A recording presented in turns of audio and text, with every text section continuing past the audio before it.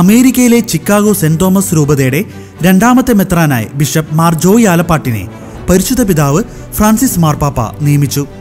നിയമന വിവരം apostolic nuncio archbishop Leopoldo Girelli major archbishop കർദിനാൾ Mar George ആലഞ്ചേരിയെ പ്രത്യേക സന്ദേശം വഴി അറിയിച്ചു. ജൂലൈ മൂന്നാം തീയതി ഇറ്റാലിയൻ സമയം പന്ത്രണ്ട് മണിക്ക് റോമിലും ഇന്ത്യൻ സമയം വൈകുന്നേരം മൂന്ന് മുപ്പതിന് സീറോ മലബാർ സഭയുടെ ആസ്ഥാന കാര്യാലയമായ മൗണ്ട് സെന്റ് തോമസിലും ചിക്കാഗോയിലെ രൂപത ആസ്ഥാനത്ത് രാവിലെ ആറു മണിക്കും ഇത് സംബന്ധിച്ച പ്രഖ്യാപനങ്ങൾ നടന്നു. Chicago saint Thomas zero Malabar രൂപതയുടെ സഹായമെത്രാനായി സേവനം ചെയ്തു വരികയായിരുന്നു മാർ ജോയ് ആലപ്പാട്ട് സ്ഥാനാരോഹണത്തിന്റെ തീയതി പിന്നീട് നിശ്ചയിക്കുന്നതാണ്.